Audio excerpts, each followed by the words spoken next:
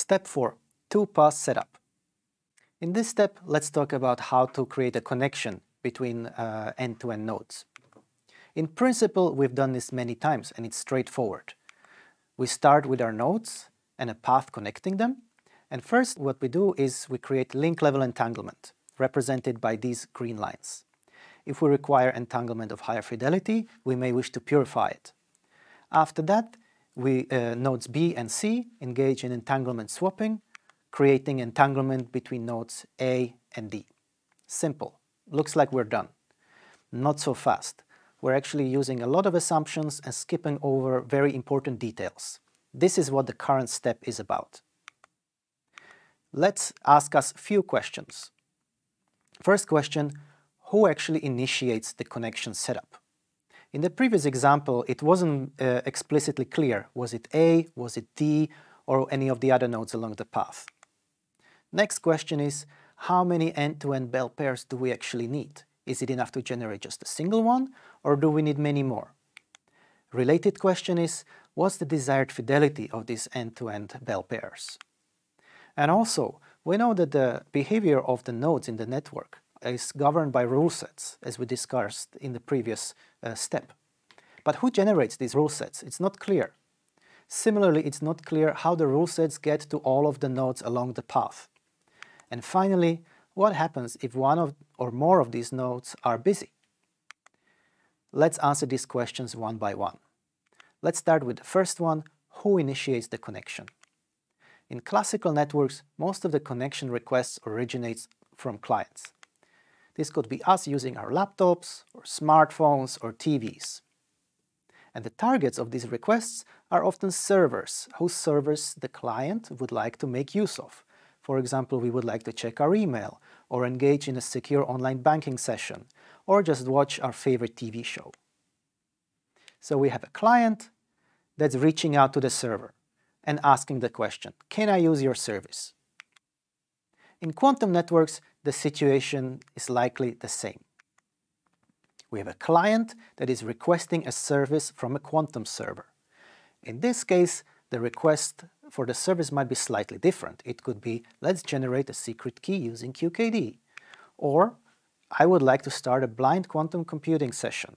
We are going to talk about blind quantum computing a little bit later. A request between clients and clients or server to server will also occur in the context of distributed quantum computation. So the node that's starting the connection setup is called the initiator. And the node for whom the setup is, this request is targeted is called the responder. So in here, the client would be initiator and the responder would be a quantum server. Mm, now that we've covered the first question, let's move on to how many bell pairs do we need and a related question, what's the desired fidelity of these bell pairs? This is determined by the application the initiator wishes to run. This application could be teleportation. For example, the fidelity of the shared bell pair determines the uh, fidelity of the teleported state. So the next, next question would be, what will be teleported and how are we going to use that data? The length of a secret key determines both the quality of the bell pairs, and also how many do we need to distribute in order to satisfy the request for the length of a secret key. Also, we may wish to run tomography.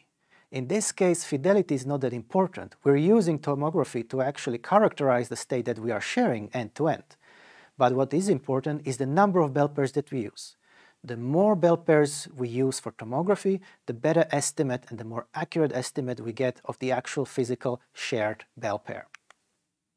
So the application determines all these parameters. Therefore, the initiator wraps them in a connection spec, which is then communicated to the responder.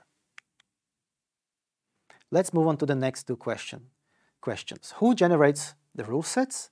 And how do the rule sets get uh, distributed along the path?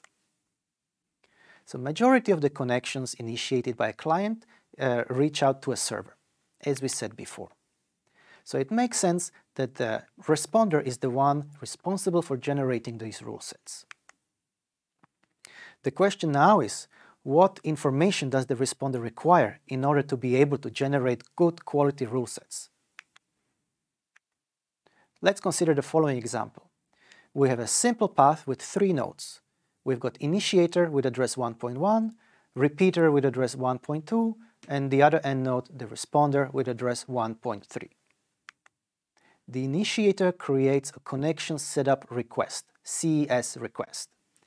It includes the address of the responder, in our case 1.3, and the output states. In this case, they, the initiator may wish to share bell pairs with the responder, as well as the fidelity of this state and the duration of the connection, or in other words, how many bell pairs are needed. And the initiator sends this request to the next uh, node along the path, which is node 1.2, the repeater node. The repeater node accepts this request and appends the following specs to the original request.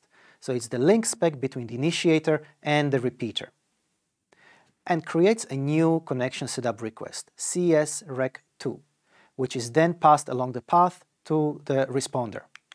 The responder accepts this request and appends its own link information, the repeater, and node 1.3 and node 1.3. This finishes the first pass along the path, connecting all the necessary information about the links and also about the end-to-end -end connection. Then the responder creates three rule sets and keeps the rule set that belongs to itself, so the 1.3 rule set, and passes the other rule sets down the path towards the initiator. Repeater takes its own rule sets and passes the 1.1 rule sets to the initiator. This way we see that in this two-pass setup, the initiator first um, sends the original request to the responder.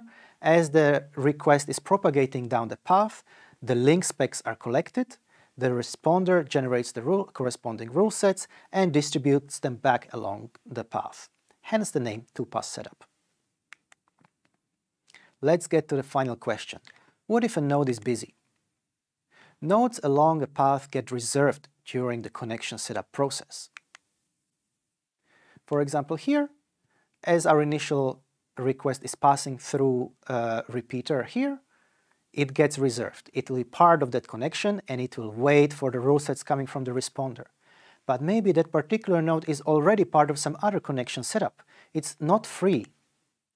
In that case, the repeater has to reply with a message sorry, I'm busy, I cannot take part in your connection setup, you have to wait and try a little bit later. This concludes our step on connection setup.